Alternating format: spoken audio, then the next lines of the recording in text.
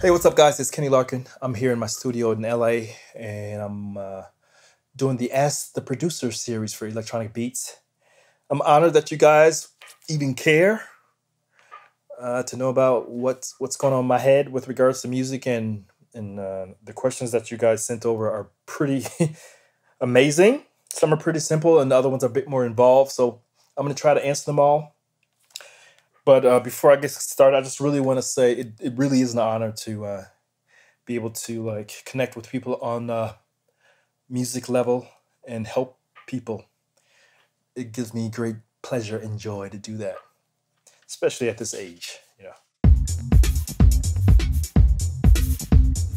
I'm structureless.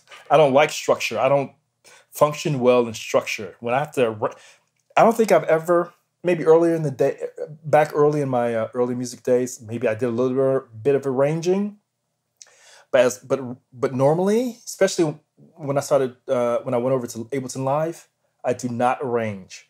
Ableton freed me up from that. That's what's so amazing about Ableton and that session view page is that it freed me up from the traditional timeline style of working, like with other sequencers. Like uh, uh, I was uh, I was using uh, Apple Logic Pro before I was using Ableton, and I hated I hated that structure where you had to start at zero, and then you had to kind of you know go from there in that structured way and build the song as you were going like you know and i didn't like that so when ableton came along when somebody introduced me to ableton because it was out for years before i even jumped on the bandwagon I, it blew my mind because that was exactly what i needed to to to take the technology out of the way and allow the creative process to flow freely in this free form way almost in like in a improvisational way uh like jazz like and because i'm so close to jazz and my jazz influences that style of working where you were doing all these different takes and you can do them really quickly inside of session view is or was amazing for me. And it also relates to my mix downs i don't when i'm finished writing the song and i'm ready to mix it down i stay in the sessions page. I don't go to the arrangement page and start building a song from you know part to part or whatever. I don't do that. I just do a, a straight up mix down on the console or inside Ableton with a controller live. And I do a few different mix downs, like I don't know, three or four different mix downs, or until I get it right, until I until I feel it. Like I go, that's it, that's the mix down, that's the final version that I'm gonna use. And it's all a feel for me. So hopefully that answered that question.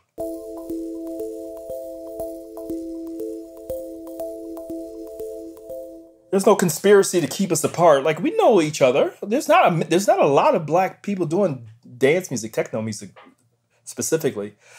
Um, and we know those guys. It's it's it's it's uh because there's so little of us. We know each other very well. Well, I mean, uh, super uh, well as far as acquaintance wise. Like, and I'm speaking for myself. I mean, I'm the, the other guys from Detroit that are mainly the only ones that are black doing techno, and some some people scattered throughout the country.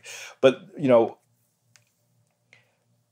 Steve Rachmad is is uh, from Holland, and uh, I we've known him for years since since the '90s. So just because we don't collaborate with him on projects doesn't mean we don't hold each other in high esteem because we do. We just you know it's just a you know if you don't travel in the same circles, you know the opportunity might not pop up to where you can work with people that that are available or whatever. It's it's that simple. Nothing too crazy.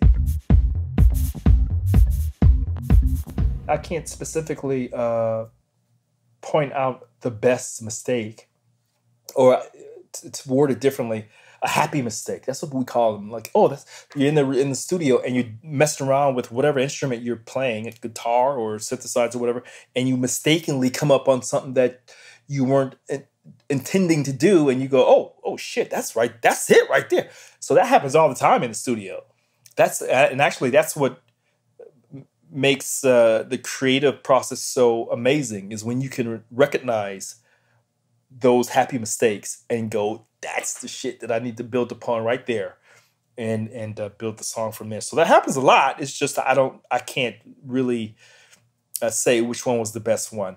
You know, and, and for me, when, when when those kind of things happen, that's when you're on your creative side of the brain. I, last time I did an interview, I said the left side was the creative side. I think it's the right side that, that's the creative side. So whatever the creative side is, when those happy mistakes happen, you're on that creative side. You you detached from the the the theory and the technical shit. You just fucking vibing, and that's when that shit comes. The magic. That's the magic shit right there for me personally.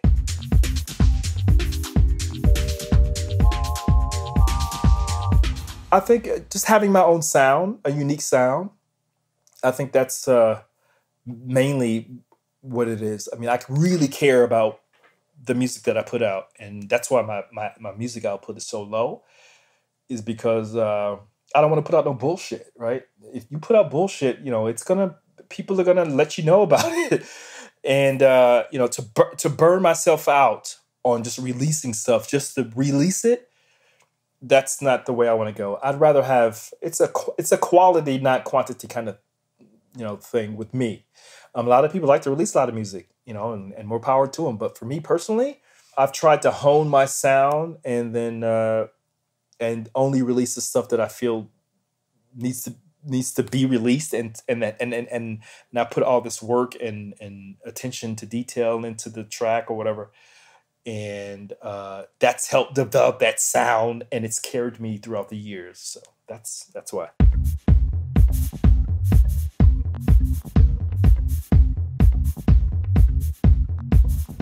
I think people need to open their ears and their eyes and their minds to different styles. If you want to do dance music, especially techno, uh, you know, I think it's really important that you listen to different styles of techno because that's where where uh okay if you only listen to bangy poundy like if and if that's and that's basically going to be the only kind of music that you do is, is if that's your only thing that you listen to as far as inspiration goes if you want to stick out and be special you have to you have to dig deep and broaden your horizons with regards to what you're listening to and what you allow to influence you so definitely study um, people outside of what you're used to.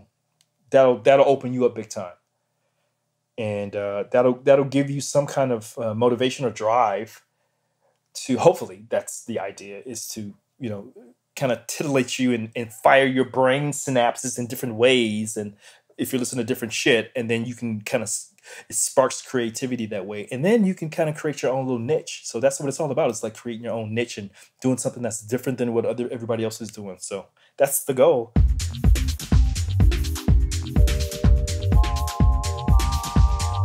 it was the kurzweil k2000 that was one of the that was one of my centerpieces of gear and that was at the time when I didn't have a lot of gear. I mean, I had some gear, but it wasn't a lot. It wasn't nowhere near the amount that I have right now. But um, keeping it short and simple, that was that's usually the best way to do it. Um, I had the Kurzweil K2000. I had the R8 drum machine. I had uh, I think a Juno, Alpha Juno, DX100. That's all you need, bruh, to get started.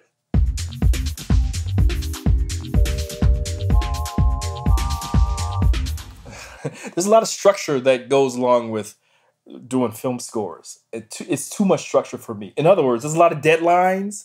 There's a lot of um, uh, things that make the film scoring process, uh, for me personally, not so creative, because like you have to sit down with the director, and they tell you the scenes, and then they tell you what kind of sound they or music they want to go want to be happening in this scene. And then you do this scene, do the music, you take it to the director. he's like, nah, I don't want that. I want something better. So that for me, that's too much. Man. I can't, I can't do it. I, I want to do what I'm trying to do. That'd be different if they, if they asked me to license my music to uh, a, a movie. That's that's totally different. But I don't have the the the work ethic, and I am not a, an efficient worker in the studio to be able to stick to deadlines. I'm horrible with deadlines. With everything, I'm always late, and it's the thing I'm working on with my therapist. I'm joking. I'm just really slow with doing music, and so music, uh, film scoring is probably not the best thing for me.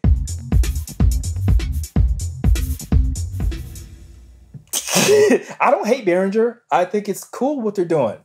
And here's here's the funny thing about here's the funny thing about this whole situation. Behringer is only doing what everybody else is fucking doing. They're recreating uh, vintage synths from the past. Uh, everybody does it. I mean, software companies they mimic the Mini Moog, for example, the Mini Moog. They mimic that shit. Uh, all these software companies they they model the fucking they bring the synths and they model them and they kind of do.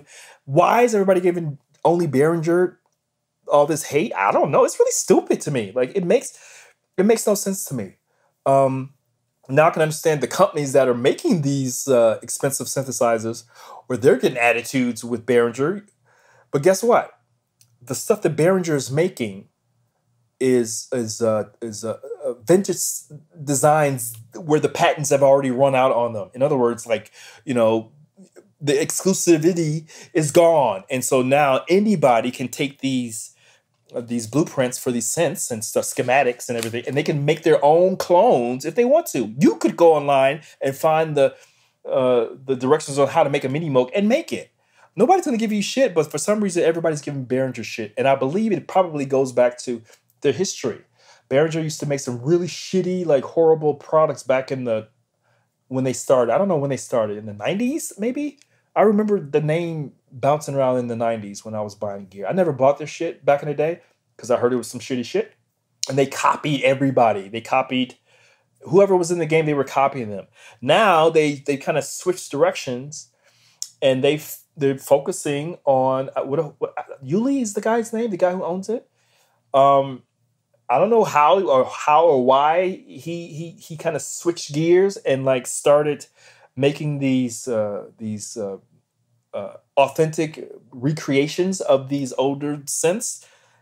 But he's onto some shit, and the shit sounds fucking amazing for a fraction of the price. Why the fuck do people have problems with that? I don't get it. The people who have problems are mainly the people who bought the synths, the original synths. They paid thirty six hundred bucks for a mini Moog, and then here comes Behringer with one that costs two hundred fifty bucks. I have an original, uh, I had a reissue mini Moog and I spent thirty six hundred bucks on that thing. And uh, Behringer came out with theirs the following year.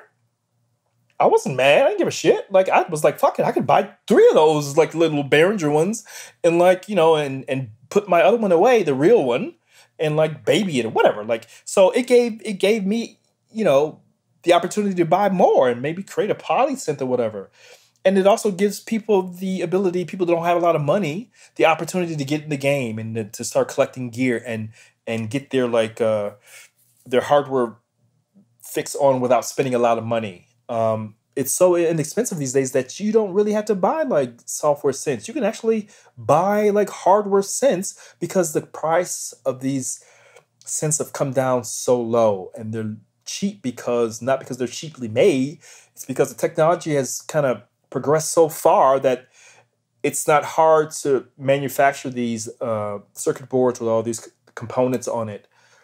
Uh, whereas back in the day, they were like making stuff by hand and like all the components that they used, they had to be within certain tolerances of, uh, of each other.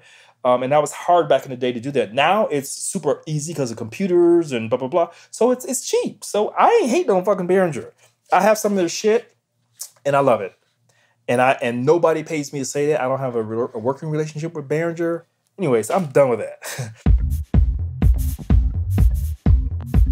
Snares and claps um, are important because they can eat because because they, they have such high transients. Like the initial, you know, transient is really hard and high, and it takes up a lot of headroom in a mix. And if you don't if you don't tame it or compress it, um, it'll eat a lot of headroom uh, out of the song. So, how do I mix my snare? Very carefully. You got to just compress it. Um, and you have to practice. Go online and YouTube and, and look up how to compress a snare. And uh, don't just look at the video or read about how to compress it you have to do it. You have to practice. You have to practice just like everybody else. Nobody's going to be able to hand you a magic pill and say, you'll have your snare pill. This is how you do snares. And then you can magically do it. No, you got to fucking practice. So that's that's about it. And then I'm still learning, just like everybody else. You know, all these music producers that are on this level, we're just as human as you guys. We, we're still learning. Hopefully, we're still, um, you know, taking in new techniques every day and trying to implement them into our workflow. So don't be so, you know, you know what I mean.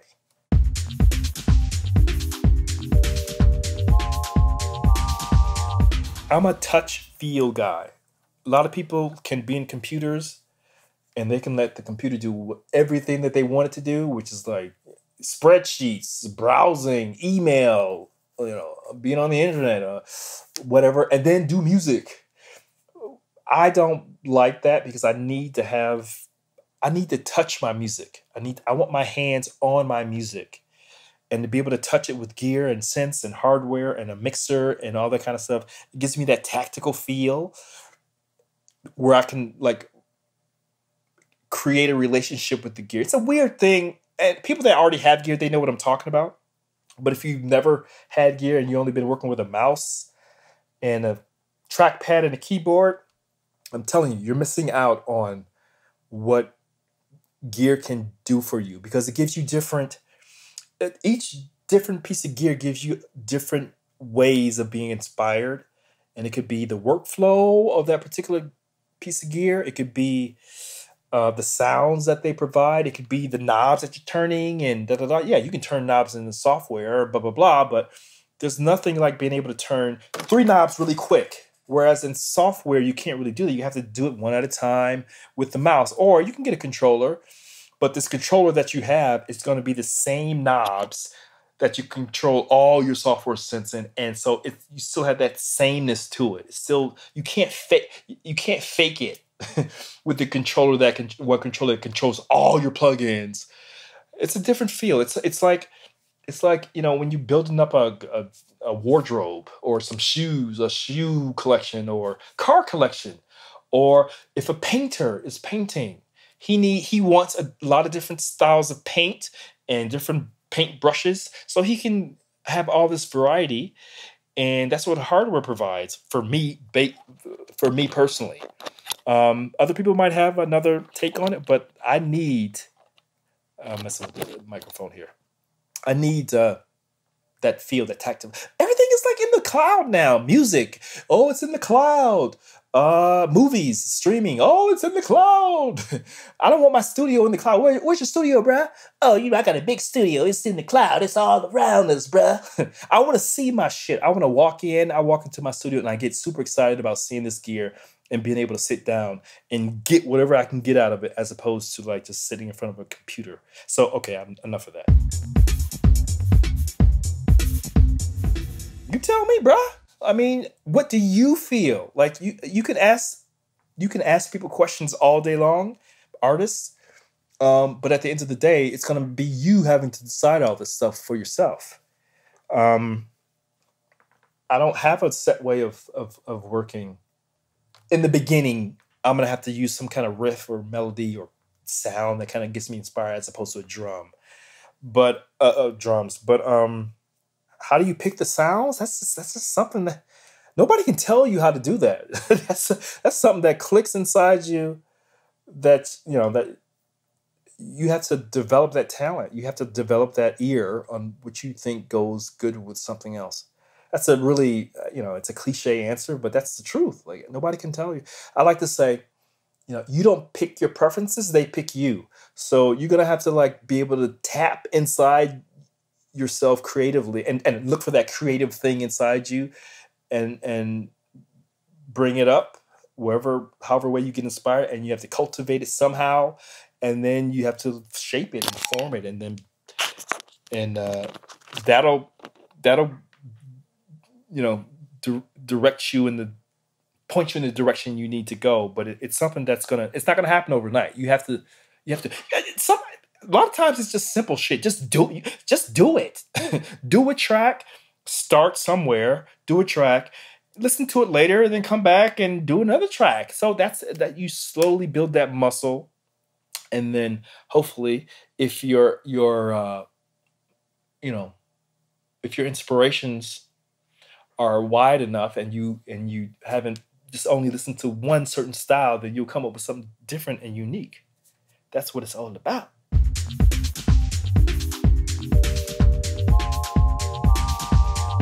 Ideally, everything was supposed to come into this API 1608 mixer, um, but I have more uh, synths and drum machines and shit, and everything is taken taken up. I'm actually selling this and getting a bigger API.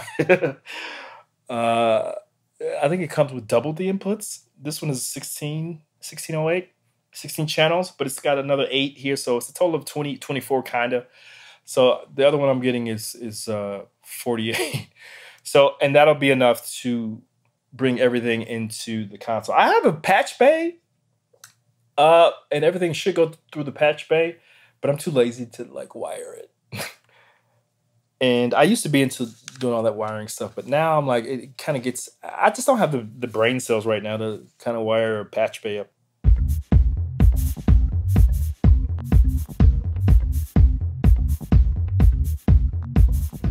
You have to be able to make room for both.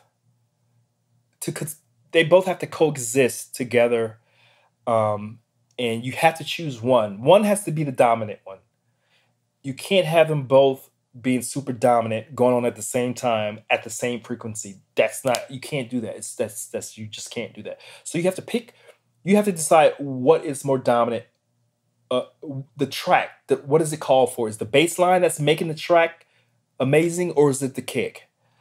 And whichever it is that that's being made the dominant part, you have to you know, EQ it and then maybe take some EQ out of the lesser dominant thing in that same frequency range, right? So if your bass line is pumping at 40 hertz, well, guess what? You're gonna have to take some of the 40 hertz out of the kick.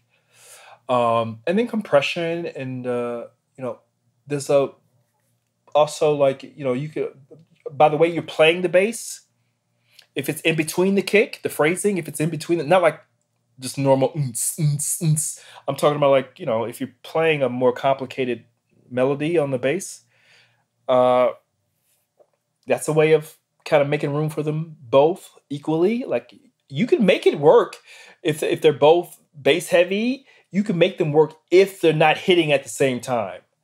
Um, but guess what? That's a muscle that you're gonna have to learn how to do, uh, learn how to use, and learn how to uh, make them coexist together. But um, another good way you can do it is to find a reference track. Find your favorite dance music track that has an amazing bass slash kick relationship and you just love. Use that, put it in your song that you're working on, and work on your bass and kick and try to mimic your favorite and try to get it like that. That's that that'll get you in the in the frame of uh, yeah, it, it's a little bit confusing because like you know usually the tracks that you like there are that are already released they're mastered right? So eh, you'll never get it to sound exactly like that but you can get it in the ballpark. And maybe you can like you know put it in ableton or whatever or logic or whatever and you can pull up a spectrum analyzer and see what's going on in the low end and try to duplicate it that way visually. There's a lot of different ways you can do it, but yeah, I it's that's the hardest thing to do in dance music is to get the bass and the kick to work together. And actually, I'm not that good at it. I mean, there's been some there's been some tracks that actually one of my biggest tracks was a remix I did for Inner City years ago called Future. The low end was fucking horrible. I did the mix in my headphones like a dumbass and I did not know there was all this subharmonic garbage um, uh, because I had the headphones on. So when the kick comes in on this song, it sounds like a fucking truck, uh, like a big, huge 18 wheelers driving by. and, and But, you know, I, and I sent this demo to Kevin Saunderson. And I said, here's the track, and this is just a demo. You know, I, I, I'm going to do you know, he heard the track and he flipped out. He was like, "Oh my god, this is amazing!" And he played in the club, and he was like, "It sounds great." And I was like, "No, no, no, that's the demo, bro. I, I'm gonna do the." He was like, "No, you are not touching this song." So sometimes when you have some nasty, shitty low end and some nasty grungy shit going on down there. It adds to the track. So when you take it away, the feeling is gone. So there's this fine line between like leaving the vibe of the track in there and then making sure it's technically proficient enough to play on a sound system where you don't blow a fucking stack of speakers because it's such muddy bullshit. But you know, that's something that I learned. Like I, you know, I, I try not to mix down in headphones now because I have a studio now. So and I have some amazing speakers where I can hear what's going on in the low end. So I don't have to worry about that anymore. I'm a visual guy. Like my surroundings kind of inspire me. Uh, art inspires me. Movies inspire me. Sci-fi stuff. I'm, into sci-fi movies, so I come in here like when I'm working on music because we're doing futuristic music anyway, right? Techno. Uh, and I put on like a I don't know some space movie or some shit, and I turn the volume down, and uh, I look at the I look at the screen, I look at the visuals, and the the art direction inside the film. Like that inspires me. Really amazing candles that helps with you know kind of firing off all my senses. I need I, I get in touch with that kind of stuff, and that helps. Um, my brother is probably the thing that inspires me the most. I have a twin brother; he's four minutes younger than me. So he recently started doing music, right? So and he took it really seriously uh, in the last year or two. So when he comes in here, I can see how fired up he is, and uh, and he's in here mixing down whatever song he's working, and he needs my help, and that instantly inspires me to kind of get back on my shit.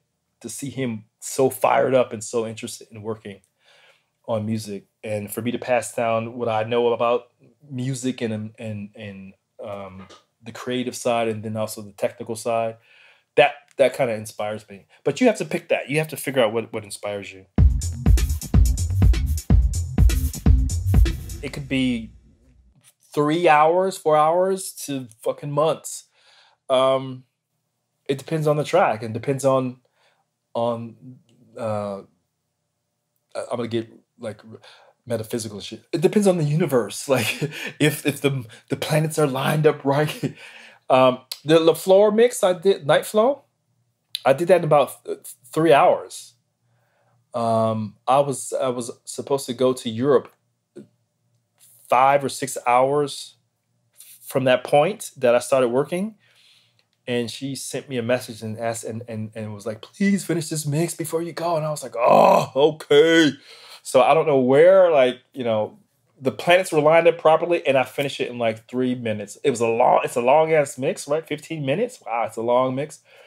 But it was, it was, I, I don't know how I found that zone. I, I don't so that yeah but then there's been other songs where i've been worked on i've worked on for months and and and still haven't finished so i take it really seriously i don't it's not it's not just to me it, dance music can can be complicated. It can be uh, more more um, cerebral. Like it could be more intelligent. It doesn't have to be this poundy poundy stuff all the time. And I, t- you know, I take it seriously. So I, you know, if the song says to me like you only need to add this and now it's done, you know, the song will speak to me and tell me like, okay, that's it. That's all you need. And but and like I said, but that's a muscle I've, I've developed over years. So hopefully that answered that. a smaller percentage, bro. I have so many tracks that have been that are unreleased. Uh, for instance, a remix. Any remix that I do, like I do like 10, 15 different versions of a remix. And then I, I end up landing on the final version. And then I put away all the other mixes and I don't finish them. So if you add up all those remixes that I've done and then all my own music and all those songs I haven't finished, there's a lot of stuff I haven't released. Um, and a lot of them haven't like survived beyond the scratch pad or uh, kind of like just messing around kind of phase and I've never went back to them. So yeah it's it's it's a feel thing.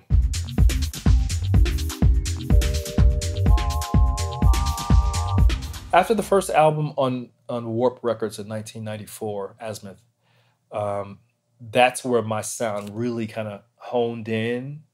I honed in on my sound.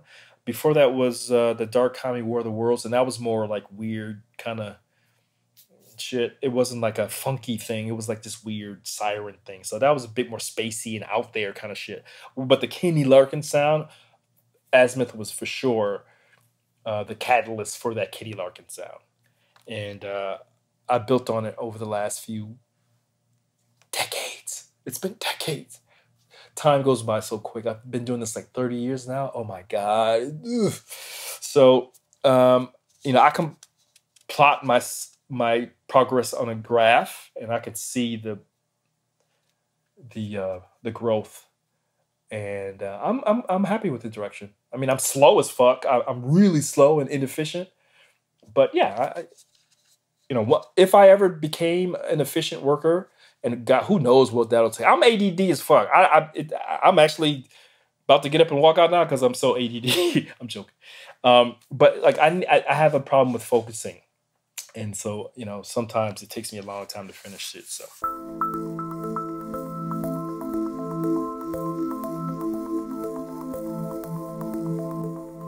How hard is it to do? It's not hard. That thing's really easy to, to use. That's the magic of, and, and you know, you don't need some super fancy, expensive synth like that uh, to uh, do music with. I mean, I'm a synth, I'm a gear slut. That's what gear slut. You know, I love gear, synths, and stuff. So you know, I bought it because um, it's the ultimate synthesizer, not just in um, ease of use, but like the possibilities that my man just spoke about. Um, I'll never get tired of that thing. So uh, it's not, but it's not hard to to use it all, sequence it all, because it has a computer display on it, and it looks almost like a, it almost looks like a, uh, a sequencer inside of a computer. That's and it's really cool for that.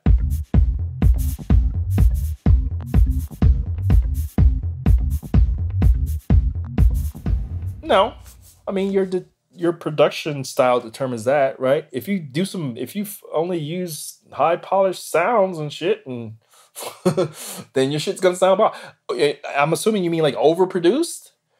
Um, no, I don't have that problem. Sorry, that wasn't a eloquent answer, but that's that's what I had for you. No, it's not necessary. It's fun, but it's not necessary.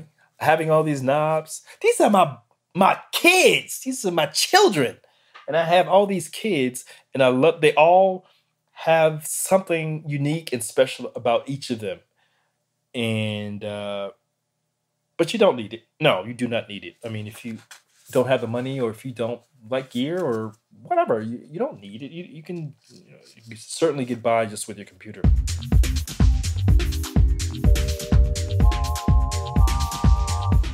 All right.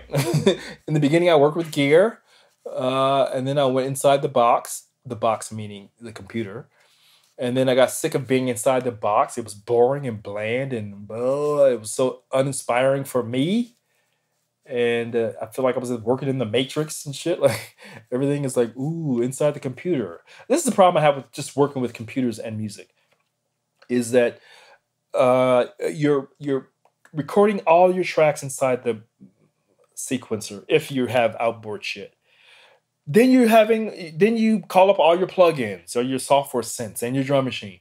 Then you call up all the effects and all the compression you're asking the computer to do everything.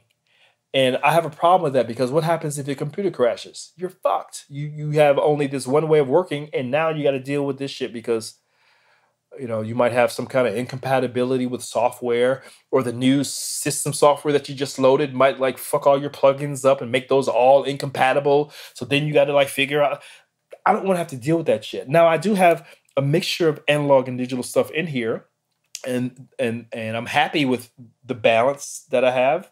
Um, so if my computer goes down and uh, I can't work. I got like hardware sequencers and I can work like really without the computer. So, I mean, you know, everybody can't do that, but um, yeah, I mean, there's a, there's a, there's a, there's a compromise some there somewhere where people can like marry the two and, and they complement each other without problems.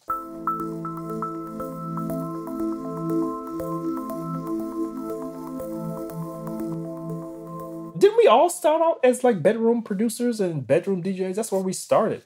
So if you can like without having gear or a studio, if you can do all that shit in, in your bedroom on a laptop and a headphones and you can make some slamming shit, like who, who would hate on that? I wouldn't certainly hate on that shit.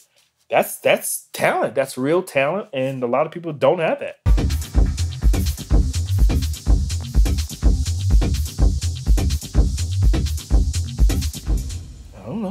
That's just how. Uh, okay, that that was recorded in 2008 so I had been doing music for a long time. So I, have I've developed that ear and uh, the, uh, you know, I, have Miles Davis is one of my heroes, right? A jazz artist. I don't know. Uh, uh, there could be some kids listening and they don't know who the fuck Miles Davis is. Uh, one of the one of the things that he said was you have to leave space for everything in a song. Like you can't just like throw everything at the at the song and expect it to sound beautiful and lovely. It's to be a train wreck usually. So everything should have its own space.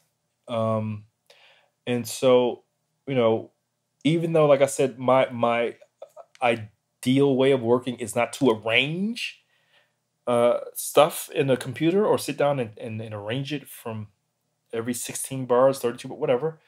I still know a song in and out. So when I get to the mix down process, I know like you know how I'm going to build up the track and how I'm going to take it down and and how I'm going to bring the other elements and that's just the it's just practice. It's just like practice. If you if you want to if you want to build a, an amazing physique you got to go work out and you got to build those muscles. It's the same. It's the same thing. And that comes with just repetition and and and and uh learning from your mistakes. Maybe you can play the songs for your friends see what they think. Um well people maybe you can play them for people who've been in the business and they and they can give you some technical advice. But like creatively i don't like to give a lot of people advice because eh, you you kind of fucking with their their juju. If you're like who am i to give advice on your song that you slaved you know hours or days on and then i come and shoot you out of the sky and say oh, it's okay like how do i know that you didn't come up with some amazing shit and it's so different and so left field that I can't even wrap my head around it. And then I shoot you out of the sky and say, "Oh, it's okay." No, I don't like to. I like to let people do their creative shit and find themselves. Nobody else can do that for them. That's my opinion.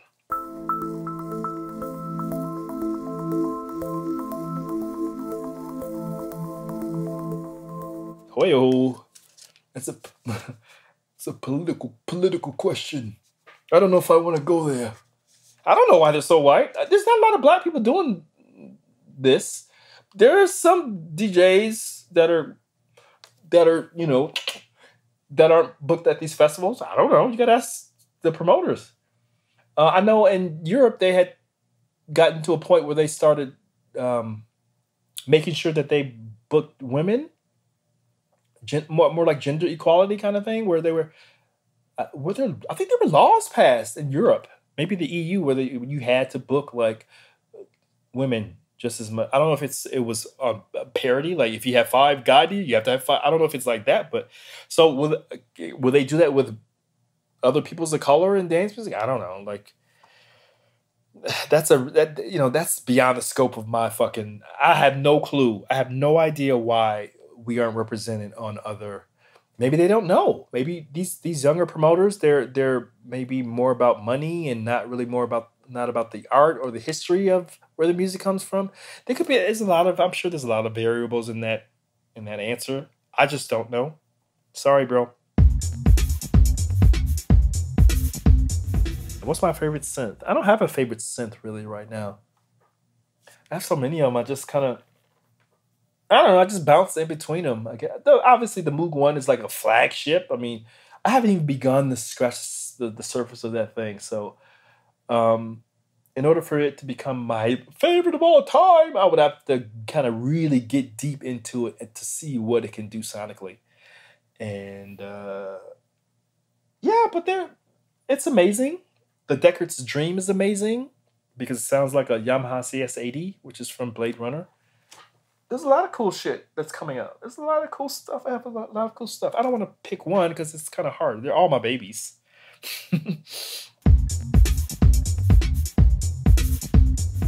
this is the API 1608 analog console.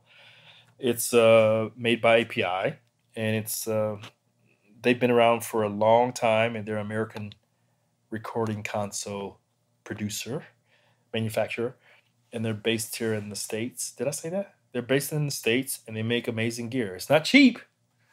You know, I, I bought this because you know I'm I'm in it for the for the long haul, and I don't mean just techno. I, I want to do music for the rest of my life. So, you know, this is me in, investing in myself and and taking my music seriously.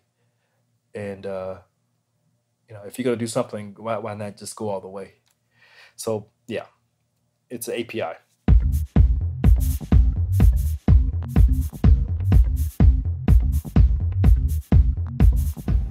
Bruh, really? um, the the Porsche thing. People, why do people make a big deal about the Porsche? It's like a it's a car that. Okay, I've been doing this thirty years, and uh, it's funny how people they put their limitations on what they expect you, on how far they expect you to go. Um, because I drive this stupid car, like people they they're thinking some people think well, how did he get that car or whatever? This my dad i grew up my dad had porsches when we were growing up right? So that's where i get my love for porsches right? It's not to show off it's not to like uh, some girls say oh flex. That's what the kids call it today flexing. I'm not trying to flex it's just my gift to myself for doing all this traveling all over the globe okay i don't feel like i have to explain myself but i'm gonna explain this is my gift to myself because I, I I work hard, I travel all over the globe, and I like to come home and be able to like vroom vroom in the fucking mountains in the car. Having said that, if I had to choose between all those three, giving up the Porsche, the API, or the Moog One, I would sell that fucking Porsche in a heartbeat. It's a fucking car. I've had four of them, and uh, I'm actually kind of sick. Not sick of it. I'm kind of done with it, the sports cars, because I'm older now, I'm 52 now, it's hard to get in and out. My knees hurt, my back and shit is hurting. Times are totally different now because of this COVID shit. Nobody's working. And trust me, everybody from the top of the food chain making all those millions all the way down to little old me, my blue collar ass, we're all suffering. And everybody's gonna have to give up something, especially if we don't get back to work soon. I would sell that Porsche in a heartbeat. It's a fucking car. I've I've I've had a lot of cars. That's my little passion. Um, but I am not letting a car define me. So uh, I I feel good saying that because a lot of people think uh, I'm you know all about that car. The car is like you know I've I've had fun with it for sure, but if the Porsche's got to go, the Porsche's got to go. I'll just get another car and just keep stepping. Keep everything that you got that's gonna make you money, not like you know, keep you fucking behind with bills and sh- I ain't trying to do that shit. Fuck you, Porsche. That's what I would say. But I love that car. It's fun.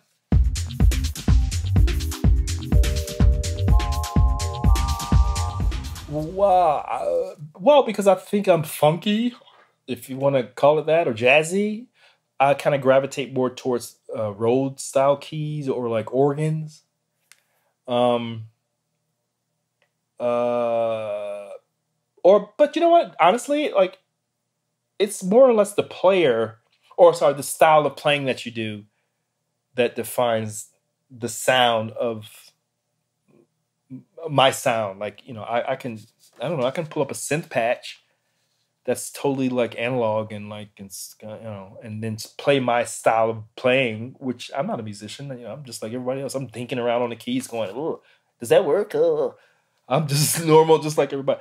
Um, yeah, so I, you know, but the organ for sure. I, I, feel funky. You like, I feel like a, I can like channel my jazz shit like when I'm playing those those traditional like Rhodes Rhodesy type organ thingy majiggies.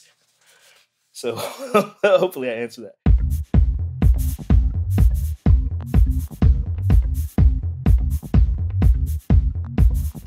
Uh, I'm assuming that moving to LA did change my sound a bit because my surroundings changed, and I told you I'm a visual guy with regards to inspiration. Um, if I had stayed in Detroit, I moved to LA in 19, uh, sorry, uh, 2001. I moved to LA two days before 9 11 happened. I put all my shit in a big ass truck and put my car on the back, a Porsche. I had my Porsche. that was my first Porsche, speed yellow 911. I put it on the back of the U-Haul truck and drove that bitch all the way out to LA through the mountains and shit. And I got here and uh 9-11 happened. And I was out, out here by myself, freaking out, like, oh my God. Um, but anyway, this my sound. I would imagine that my sound would have been different if I would have stayed in Detroit because my uh, surroundings are different. Um, I'm glad I moved out here because you know sonically, yeah, I think I moved on and progressed in a direction that I'm super happy with. It's just my speed of working, so that needs a lot of work.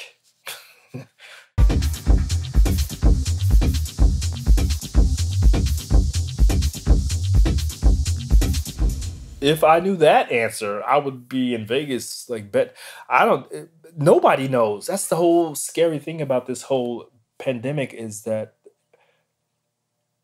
there's no everything is uncertain. It's the scariest, and and it's not just us. It's just not our our genre that's suffering the club thing. Everybody, like pop artists, hip hop, nobody can travel. Nobody can tour.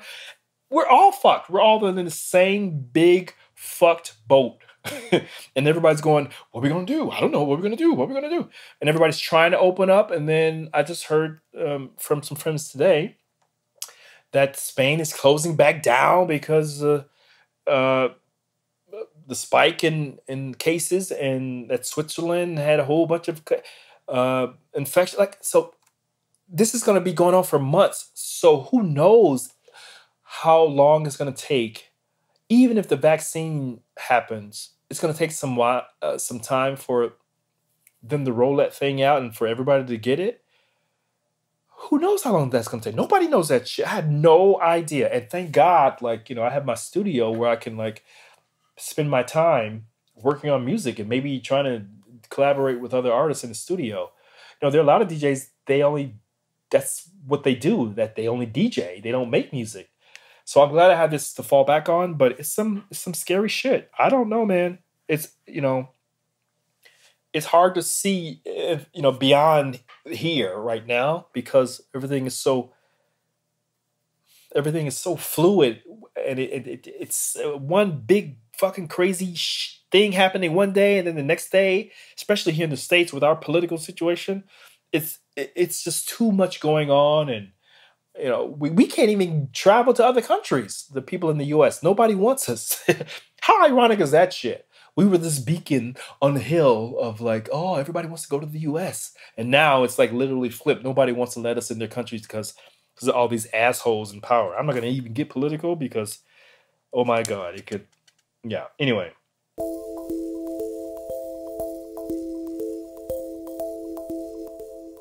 Uh the guys from Detroit, they inspired me.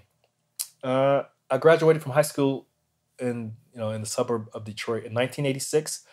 Two months later, I went to the Air Force. Two years later, in 1988, I came back to Detroit to do stand-up comedy. By the way, um, and then I was going out in the clubs in Detroit and heard the sound in the clubs. I actually met Richie Hawtin in in one of these clubs in downtown Detroit and this is before he was big. He didn't even do music or he was a DJ at a club, and I met him right at the beginning. So we started hanging out and hearing all this. We used to drive, uh, you know, in, in my car, like on the freeway, listening to this music on the radio. There was a mix show on the radio, and it was this dance music, and it was funky, and it wasn't like Kraftwerk, but it was funky. It was it sounded black, right? And uh, we heard this in this mix show and it was actually Derrick May. He had a mix show on the radio, and we were listening to that shit. So when I found out that they were from Detroit, oh, that was it. Like that made me want to do techno. And my mom wanted to kick my ass. what do you mean you want to do music? I want to do music. So yeah, those guys were. Yeah, I mean, I, I knew who Juan Atkins was in high school because he was doing this. Uh, he was recording under this Cybotron uh, name. And so I heard that on the radio before I left. But when I came home in, in 1988 and I heard this other stuff, I was like, I am in, like Flynn.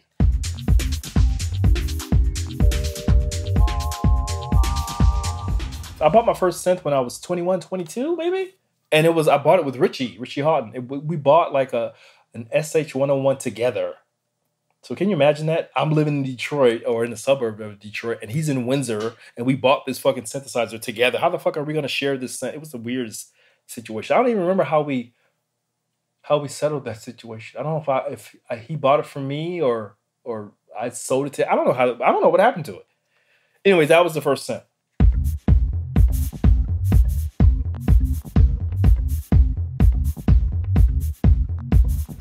I don't know. I, I didn't buy it all at once. It's like one at a time.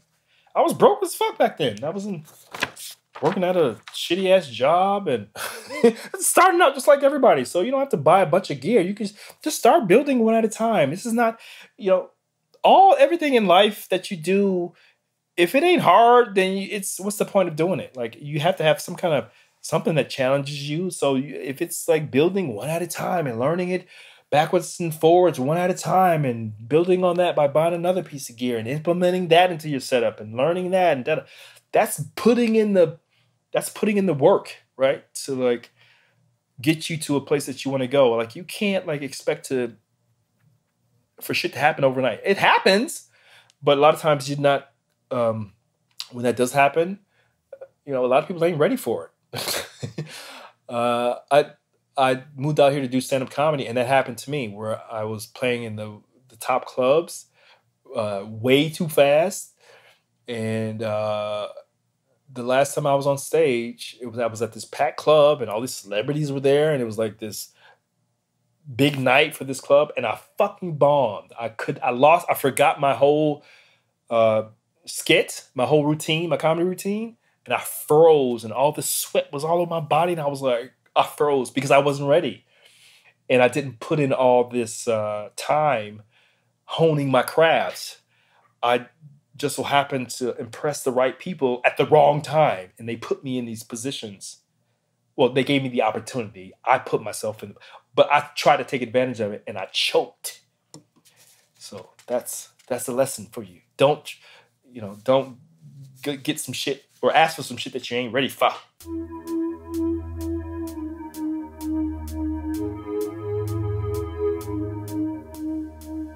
Yep.